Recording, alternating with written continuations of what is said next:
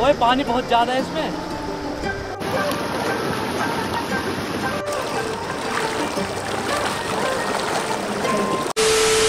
So hey guys good morning and welcome back to another blog भाई, स्वागत है तुम्हारा एक और नए फ्रेश ब्लॉग में। जैसे कि तुमने पिछले एपिसोड्स में देखा होगा कि मैं दिल्ली टू कसोली आया था वाया बाइक एक रोड ट्रिप पे और कल रात को मैं कसोली पहुँच गया था और उसके बाद सुबह अभी मैंने तुम्हें दिखाया गिलबर्ट ट्रेल तो अब मैं निकल रहा हूँ भाई सोलन के लिए। सोलन भी काफ़ी ब्यूटीफुल जगह जहाँ तक मैंने सुना है। तो अब भाई एक्सप्लोर करने की बारी है इसकी। तो आज मैं फ़र्स्ट टाइम विज़िट करने वाला हूँ सोलन को और भाई इसको एक्सप्लोर करूँगा की क्या क्या चीज़ें हैं यहाँ पे। तो बने रहना ब्लॉग में एंड तक काफ़ी मज़ेदार होने वाला ये ब्लॉग तो अगर चैनल पे नए हो तो चैनल को कर देना सब्सक्राइब और वीडियो को कर देना लाइक ऐसे बहुत ही धमाकेदार ब्लॉग्स देखने के लिए।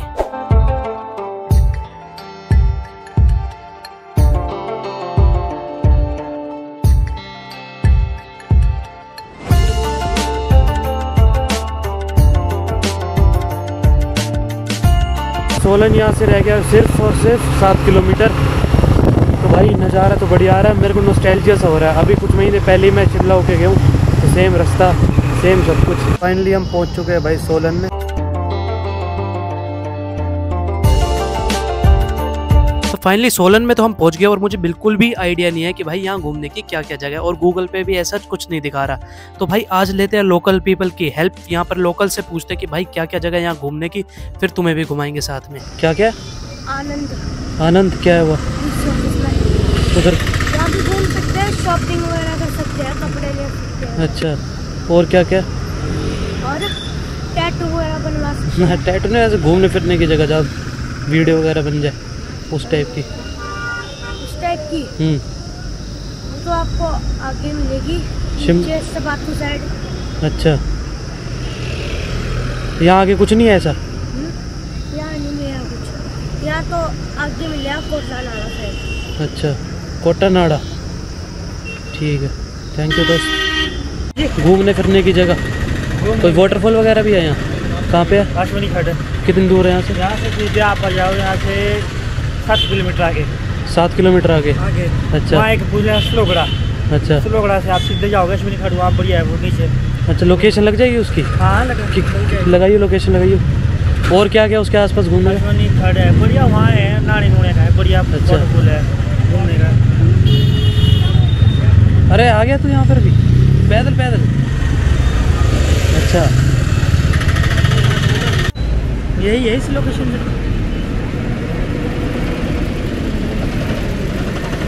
मैं हाईवे में बोल जहाँ से नीचे जाना है। अच्छा। तो पचास किलोमीटर दिखा रहे है तो। होना तीस ज़्यादा ज़्यादा तीस होगा यार वहाँ तक पचास तो होना चाहिए। ये तो शिमला के पास दिखा रहा है। कहाँ दिखा रहा है? शिमला के पास। तुम्हारे गुड़ का ले जा रहा है तो भाई किसी से पूछा तो भाई चौदह किलोमीटर तो दिखा ही रहा है वो। बाकी एक दो लोगों से पूछते, यार, कुछ है घूमने का या नहीं है? यहाँ तो फिर गलत ही आगे। तो और कुछ ना, सही तो भाई इधर सोलन की मार्केट ही देख लो भाई। This is the market of Solan.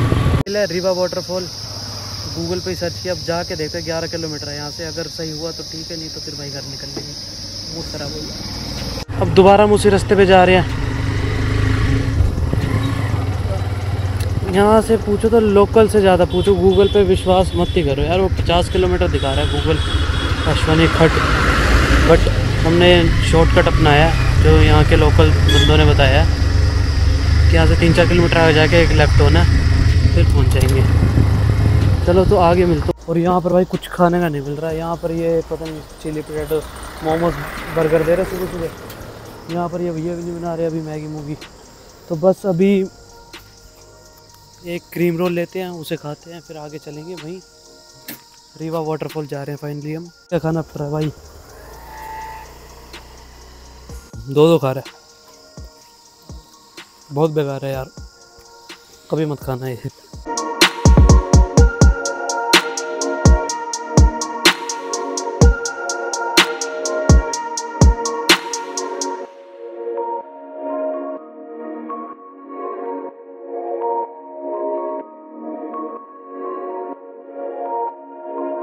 Waterfall हम पहुँच चुके हैं। यहीं पर है भाई पेड पार्किंग। यहाँ पर लगा दोगे और अंदर से रास्ता जाएगा रिवा वाटरफॉल का। फिफ्टी रुपीज़ लगे हैं भाई। अपनी बाइक की पार्किंग के। गाड़ी के सो है? और गाड़ी के सौ रुपये लगली पतली ट्रैकिंग करते करते हम जाने वाले हैं भाई वाटरफॉल। इंजॉय करने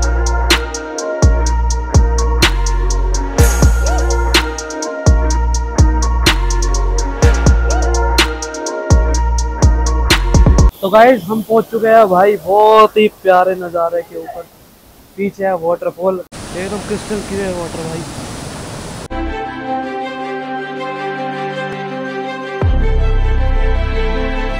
तो भाई, मैं तुम्हें दिखाऊँ, पानी इसका बहुत ही ज़्यादा क्लियर है। मतलब क्लियरली विजिबल हो जाता है यार, ये देखो। ये पानी मैं पंख को पानी में रखता हूँ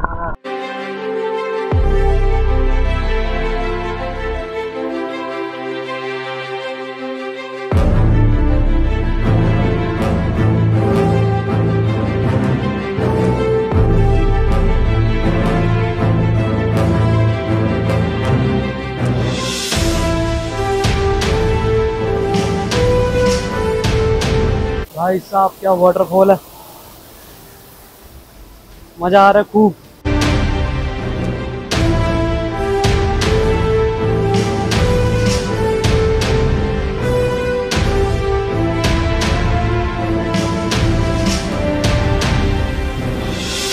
तो भाई आ गए हैं। अब थोड़ा पता करते हैं यहाँ पे कि और आसपास क्या घूमने की चीज़ है। और अंकल क्या बता रहे थे आप? हेरिटेज पार्क है। इसी रोड पे। यहाँ से आगे पुल है पुल से लेफ़्ट हो। यहीं से ना? हाँ। ठीक है एक हेरिटेज पार्क है वहाँ जाते हैं वो भी दिखाते हैं। इसको देखो ओहो गर्मी में जैकेट तो गाइस अभी हम रुके हैं भाई एक जगह मिल गया मतलब रिवर साइड व्यू एंजॉय करने। तो मैं अभी मैं दिखाता हूँ पूरा। यहाँ पर कर दिया भाई बाइक अपनी पार्क और यहाँ से कुछ रास्ता उधर रिवर है बहती हुई। ऐसा है कुछ नज़ारा भाई इसका। मज़ेदार एकदम। चुल मच रही है, बस फटाफट पहुँच जाऊँ वहाँ। ओहो, भाई, कहीं यही तो फ़ायदा रहता है, कहीं भी लगाओ, कहीं भी पहुँच जाओ। ये देखो भाई क्रॉसिंग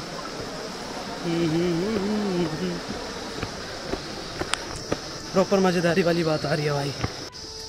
भाई साहब, नज़ारा देख रहे हो गाइस एकदम मज़ेदार। नदी के अंदर नहाऊँगा भाई, अब तो नहा ही लूँगा। उधर सही है नहीं नहाया, जो होता है अच्छे के लिए होता है। ओ भाई। नदी बहती हुई आ रही है, और हम नहाएँगे। जूते वूते ले लिए, ओहो, कांच। हाँ यहीं से करेंगे। आजा। तो गाइस एक रिस्क लेने वाले हैं अभी हम इसको पार करने का। भाई साहब, ओए फिसलन है यहाँ तो। रुक जा, यहाँ से नहीं, आगे से चलते हैं।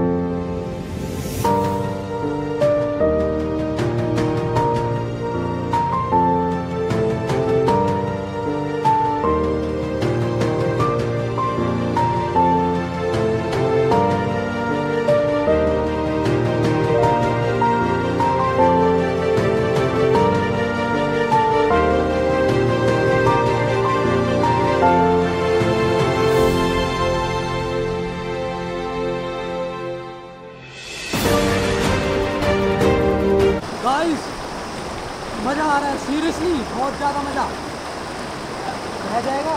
नहीं जा रहा रुक जा यार तो गाइस आ रही है मज़ेदार वाली बातचीत। भाव एक्चुअली तेज हो गया है। तो भाई अब हम जा रहे हैं नहाने।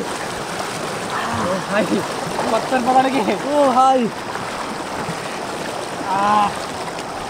पत्थर भी प्रोटेक्ट नहीं कर रहे। भाई छोटे पत्थर तो सरकार है भाई। भाई बहाव देखो यार नदी का। अपने आप उड़ रहे हैं हाँ।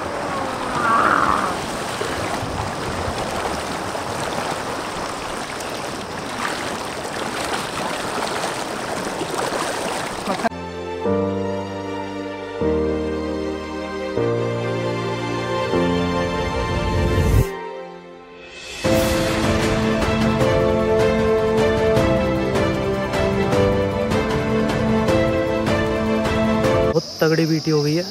मैंने चाबी गुम कर दी बाइक की बताओ। पहली बार दी है दो दिनों में इसको मैंने एक बार चाबी दी है और उसी टाइम ही गुम कर दी। भाई दिमाग इतना ख़राब हो रहा है ना। लास्ट टाइम भी खाटू शाम में जब गए थे तब इसने कोई ना कोई बीटी करी थी। भाई जैसे मूड ख़राब हो जाता है पूरे ट्रिप का। इतना अच्छा वाला मूड था रिवर के अंदर।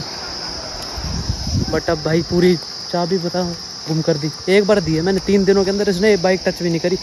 पूरे रास्ते मैंने चलाई है हमेशा मैंने रखी है एक बार देने पे ये कर दिया। तो फाइनली भाई, लोग अपना टूट गया। विद द रोड इसको तो मैं घर जाके बताऊँगा। इसने जितना दिमाग ख़राब किया ना मेरा। भाई, चलो छोड़ो यार, क्या ही भाई लॉक वॉक तोड़ के तो भाई बाइक्स तो स्टार्ट हो गए बट दिक्कत ये है कि पेट्रोल कैसे डलेगा? पेट्रोल की टंकी तो खुलेगी नहीं ऐसे। तो दो डंडे भी बचे हैं बस, और यहाँ पर कोई है भी नहीं, जो चाबी बना दे। अब देखते हैं यार, बस भगवान की कृपा रही तो चंडीगढ़ पहुँचे। फिर भाई करेंगे अपना काम लॉक वॉक बनवाएँगे अपना नई चाबी। तो यार मतलब ट्रिप इतना अच्छा बीत रहा था ना, मैंने तीन दिनों से खुद ही चला रहा हूँ सब कुछ। एक बार भी इसको चाबी नहीं दी, एक बार दी, उसी में कल्याण हो गया। तो चलो, कुछ नहीं कर सकते होप फॉर द बेस्ट कि हमें कोई चाबी वाला मिल जाए। और भाई एक और दिक्कत होगी, इसका माइक का जो ऊपर का होता है ना विंडशील्ड वो भी पता नहीं कहाँ उड़ गई। तो बस अभी निकलते हैं भाई चंडीगढ़ की तरफ़। मेरे को लग रहा है कि मेरे को आज वहीं स्टे करना पड़ेगा चंडीगढ़ में। फिर कल सुबह निकलूँगा घर के लिए। वही सुबह से कुछ खाया तो है नहीं यार, वही मैगी सिखाई थी और कुछ मिला नहीं। बाकी उसके बाद मूड ख़राब हो गया। तो बस अभी यहाँ रुका हूँ भाई, छोले कुलचे खाने। जीवन का आखिरी सहारा छोले कुलचे।